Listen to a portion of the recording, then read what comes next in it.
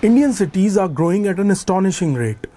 By 2030, around 590 million people will live in Indian cities. This urbanization will come at the cost of biodiversity as concrete structures fill up agricultural fields and forests. While most animals will be driven away by this, there are a few that can adapt and flourish in these new settings. They are dogs, pigeons, and monkeys.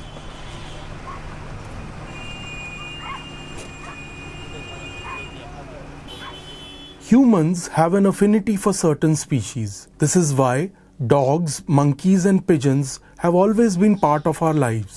But in recent decades, their numbers have reached unmanageable levels in urban areas. To understand the magnitude of this problem, let us look at each of these animals and see why their numbers are seen as a threat to an urban way of life. A majority of humans do not consider dogs to be a problem, yet, these human companions are slowly being seen as a menace to civilization. It is hard to believe, but in 2022, India reported over 5,200 dog bites every day. That is more than 1.9 million in that year alone. In 2021, India recorded 47,291 rabies cases, 96% of which were canine inflicted. So, based on estimates uh, done by by a senior scientist in a in a book called uh, "Free Ranging Dogs and Wildlife Conservation," uh, in 2004 he estimated the dog population in India to be about uh, 60 million. Um, so humans are very much responsible. Now we are directly and indirectly responsible. We generate lots of garbage, and uh, you know we have poor garbage disposal mechanisms. So dogs scavenge on that directly responsible because we keep feeding dogs on the streets, either because they are associated with our house, like in, in villages, or in cities because people have made it like a hobby to feed dogs, um, thinking they are, you know, being saviors of, of these dogs. And in fact, the policies of the government of India, the Animal Welfare Board, keep encouraging this kind of irresponsible behavior to keep maintaining dogs in the streets.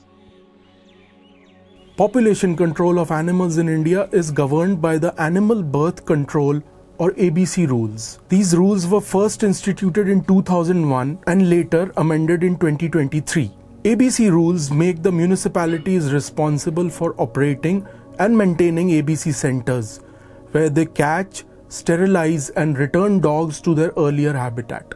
A dog census report done by Wildlife SOS in 2009 found that the municipalities lack the proper infrastructure to carry out their duties. If you try and understand what ABC is supposed to do, you understand also then why that the, the program won't work. The fact is, ABC has not been attempted anywhere in rural in, in India at all. Why? Because it's very difficult to implement. How, how are people going to go from village to village catching millions of dogs and sterilizing them? It's virtually impossible to do that. Okay, where do we have the infrastructure to do to do this? So most of the focus has only been on cities. So in large Indian cities where the dog population can be in several lakhs, um, sterilizing a few thousand here and a few thousand here makes absolutely no difference. When it comes to dogs, there is no consensus on the solution. Given the current situation, India has to make unpopular choices such as implementing stringent pet ownership laws, euthanizing dogs that carry the rabies virus, building shelters, and prohibition of feeding in public places.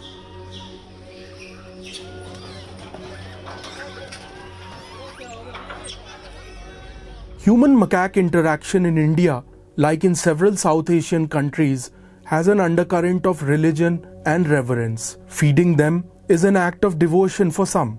For others, they are harbingers of chaos. Monkeys also carry rabies and other zoonotic diseases like hemorrhagic Kyasanur forest disease and also cause damage to properties and crops. Around a thousand monkey bites are also reported every day in India. As compared to 1980s, the population kept increasing and the reason was humans influenced monkeys in a negative way. Number one, they they snatched their foraging grounds. Second is the food. man has been feeding high starch, high fat, addictive foods to monkeys, which made monkeys slow. They started relying on these foods, then going and looking for natural foods. Delhi, the capital of India, has been dealing with the issue of monkeys for the past 20 years. In 2000, the Delhi High Court banned the feeding of monkeys in public places. There were also schemes to translocate monkeys to the Asola Bhatti Wildlife Sanctuary on the Delhi Haryana border. But our long tailed ancestors have always found a way back, as once they become comfortable in city spaces, they are settled in for good, especially with food around. In March this year, the Union Environment Minister Bhupender Yadav released 14 guidelines to address human wildlife conflict, which recommend surgical sterilization of male as well as female macaques. And even though sterilization was tried as an option, studies have found that it makes monkeys more aggressive. They have become too aggressive, they're too agitated. Uh, we have just disrupted everything about their lives. So let's calm them, let's not trap them, let's just let them be uh, till they stop raiding, till they stop biting or chasing or destroying property of human beings. And to reach there, we'll have to create areas which are green areas, which are monkey friendly. There is a need to create suitable habitats for monkeys. Some states like Odisha, Kerala, and Telangana are already working towards this. But without a mechanism in place to assess their impact, it is difficult to gauge what works and what does not.